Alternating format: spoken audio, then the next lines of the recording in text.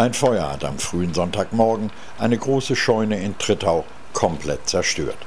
In dem Gebäude am Trittauer Feld waren eine Werkstatt und eine Sattelkammer untergebracht. Außerdem lagerte dort vermutlich auch Stroh. Rund 100 Feuerwehrleute kämpften gegen die Flammen an.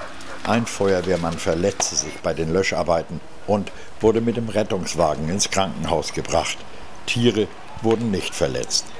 Bei Eintreffen der ersten Feuerwehrleute schlugen bereits hohe Flammen aus dem Gebäude empor und dichter Rauch zog über die Brandstelle hinweg. Schwierigkeiten bereitete die Wasserversorgung.